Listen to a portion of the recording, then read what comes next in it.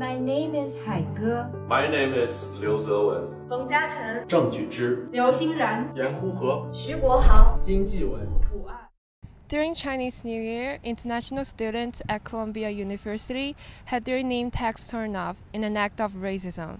This has inspired several Chinese students fight back with the campaign Say My Name about the meaning of their names. Even at UC Berkeley, some international students feel embarrassed when peers and professors repeatedly mispronounce their names in class. Instead of correcting people's pronunciations on this, many international students decide to simply adopt English names so that their peers and professors may more easily remember their names. This is Paulina Jeng. This is Shuk Yee Ma with Cal TV. With approximately 42% of Cal students identifying as Asian, any unfair treatments to Asian populations come back to affect a significant portion of the student body.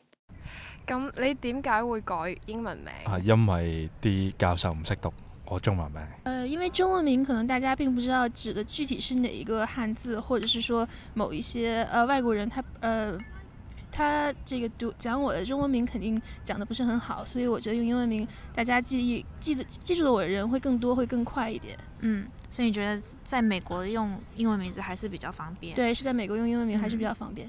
In 2009, Betty Brown, a former Texas state representative, came under fire after suggesting the voters of Asian descent adopt English names that are easier for Americans to deal with. 咁你会唔会觉得有一个中文名喺度会比较难揾工啲呢？诶、都会嘅，因为雇主已经可能知道你唔系呢度出世嘅人啦， 咁會覺得你啲英文好似唔係咁好喎，咁樣就可能會難請啲咁樣咯。都唔會嘅，係睇你自己嘅能力啫。咁你可以有亞洲嘅姓，同时即系你嘅能力亦都系非常好，同埋你英文都系讲得好好啊。咁又冇冇咩问题。 NPR reported that a study from Ryerson University and the University of Toronto showed that job applicants with Asian first names were 28% less likely to be called in for job interviews compared to their English named counterpart. Um, what do you think we can do um, as a society to make sure that we eradicate this kind of behavior? I think awareness is one of the most important things. International students feel pressure to assimilate into American culture.